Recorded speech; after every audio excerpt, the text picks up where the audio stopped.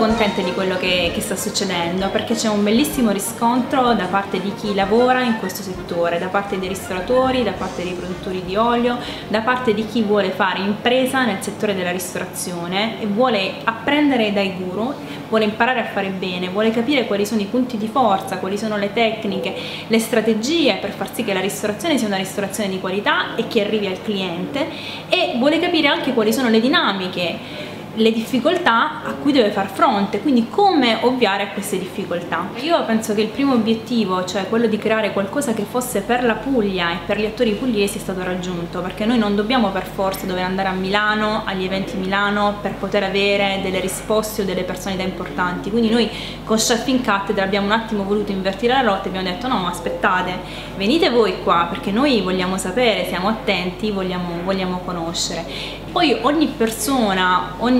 docente che è venuto ha portato un pezzo della propria storia ma anche un pezzo della propria passione, a partire da Paolo Marchi che con Identità Golosa è arrivato alla decima edizione e per noi la testimonianza più evidente di come dal nulla, con la convinzione, con la volontà, col sacrificio si possa costruire qualcosa che poi diventa importante ed è un riconoscimento a livello internazionale. Ma lo stesso dicasi per Maria Cicorella che vive a Conversano, ha avuto un riconoscimento con la stella Michelin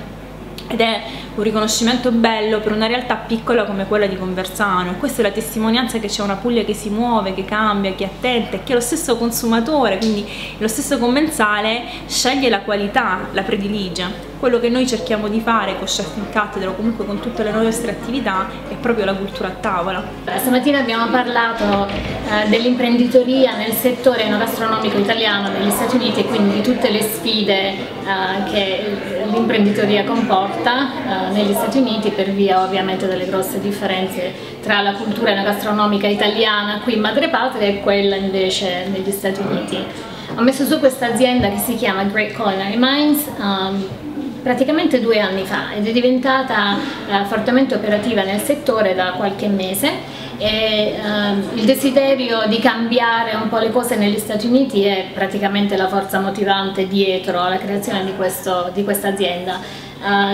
L'enogastronomia italiana negli Stati Uniti purtroppo è oggetto di grosse manipolazioni da parte sia degli imprenditori italiani che di imprenditori uh, insomma, di, altre, di, altre, provenienze. C'è scarsa conoscenza dei, dei, prodotti italiani anche da parte del consumatore e ci sono grossissimi altri problemi come per esempio l'infiltrazione sul mercato americano di prodotti che sembrano italiani ma non lo sono, vengono spacciati per italiani ma non lo sono, che stanno danneggiando l'export per i produttori italiani negli Stati Uniti, per cui è ora che qualcuno inizi insomma, a cercare di cambiare le cose. Quindi insomma, in questo spirito ho iniziato questa compagnia che come ho detto si chiama Great Culinary Minds e una delle cose che faccio è organizzare dei programmi a scopo educativo, per esempio eventi coinvolgendo chef um,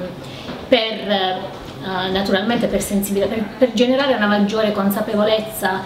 tra i consumatori americani di quello che è veramente italiano, quindi non solo promuovere i prodotti ma anche insegnare magari a usare quei prodotti in cucina perché è certo che se il consumatore americano non sa usare un determinato prodotto in cucina non lo comprerà mai. Ma quali sono le principali differenze tra uno chef americano e uno chef italiano? Rispondo con una, una citazione, una, una, frase che ho sentito in un'intervista fatta a Fulvio Pierangelini, che è un grosso chef italiano,